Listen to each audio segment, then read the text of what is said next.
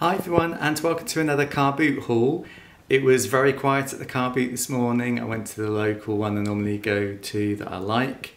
But there was only two full rows, so four rows technically of cars.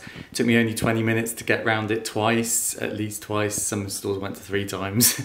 Uh, but yeah, very quiet this morning. It is end of the season, even though they carry on till Christmas, but because of the cold and damp weather, I don't think people came out today. But I still found a few bits. I spent £18 in total. I'll do like I've done for the last couple of videos. I'll flash up on the screen what I think I'll be able to get for the items on eBay. Most of these prices that I flash up do include postage as well, so just bear that in mind, and fees obviously. But it gives you a general idea of what things will go for. So without any further delay, I'll show you what I bought today. This is a quick overview. So when we were let into the car boot, I went to the back of the stalls, the two rows, and I seem to have a radar for Lego at the moment. I literally homed in on this stall because I suddenly saw there was Lego, so I went straight there. Grabbed this straight away. It's a Lego movie, Benny's Space Squad. It's got four minifigures in.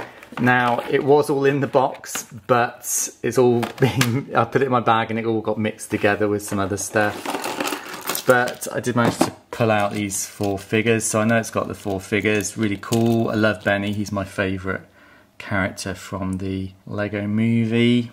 It's just really funny.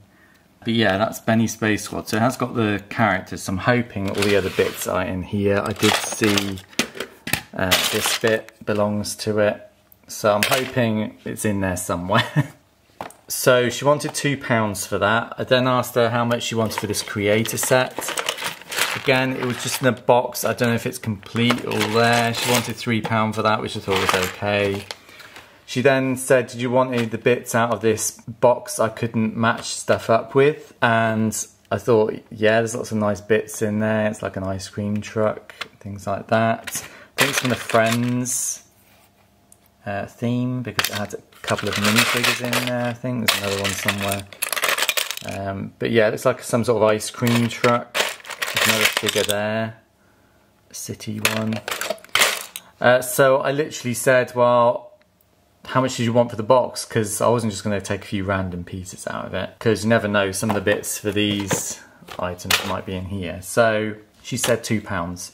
So it came to seven pounds, which I thought was a good deal. I didn't barter her down because it was literally just open, so there was no point. Um, and I thought for that, seven pounds was a good price. So yeah, that's what I paid for that. I don't know what I'll do with this. I'll see if there's a set in there, um, if I can find it. I'll try and put it together. If not, I don't know. I've got a lot of loose Lego at the moment uh, that I don't really know what I'm going to do. I, ideally, I'd like to open a Bricklink store, but I don't know if that's ever going to happen.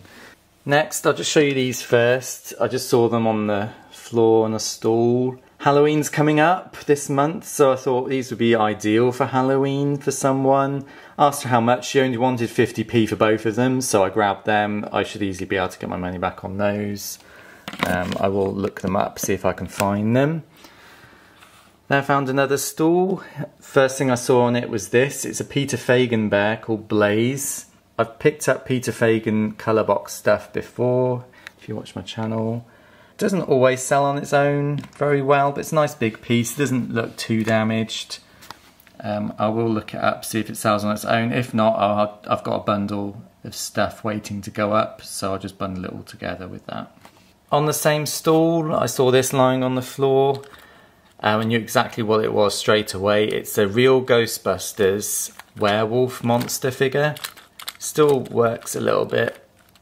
Not brilliant, but it still moves a little bit.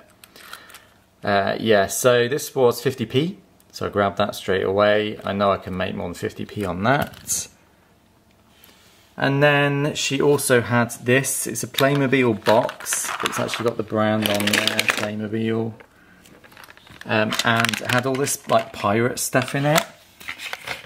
So again, asked her how much it was. Again, it was only 50p. So I thought, perfect, I'll bundle bundle all that up. I don't know if the cases sell on their own. I will look up the case to see if it sells on its own. If not, I'll just bundle it with the pirate stuff. Uh, but yeah, hopefully I might get more than 50p for that, hopefully. And then the final stall, there was a couple of girls selling tons of Star Wars stuff and dolls and things. So perfect for me. That's the kind of stall I like. Homed in on these uh, bears and things. I literally had to grab them um, and then asked how much they were. So we have a talking Jawa, perfect for my YouTube channel. Uh, it does make noise. So that's cool. Um, she wanted £3 for that because it's new, um, which is fine. And there's a Jawa, I was going to buy that anyway.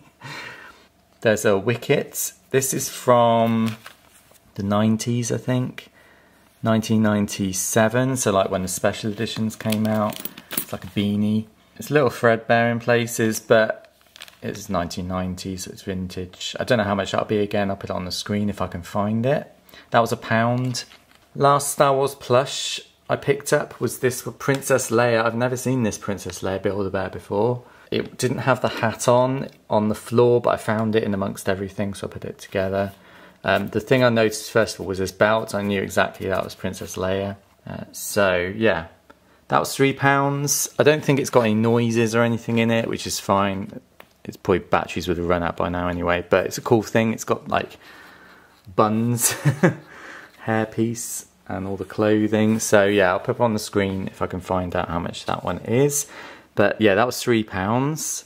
And then I saw this cute little thing. It's a pangolin and I saw the label sticking out, Wild Republic, and I grabbed it because Wild Republic sells uh, good quality plushes and they seem to sell really well.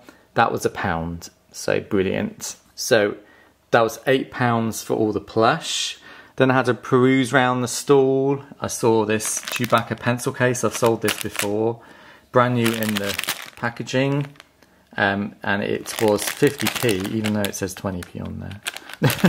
Don't quite know what that's from but maybe a previous sale. But yeah 50p on that which is fine. I was gladly happy to pay that. And then the last thing I found uh, from their store was this purse wallet. And you're probably wondering why there's £3.35 sat there. Well, when I got it out, when I was setting this up, I heard it jangling, so I opened it up and there was £3.35 in there uh, which is pretty random. Uh, this was 50p, so yeah. I spent £18, but then I've got £3.35 back, so just under £15 I spent today, technically. So that was a bit of luck, I wasn't expecting that. But yeah, for a damp October morning, not done too badly today.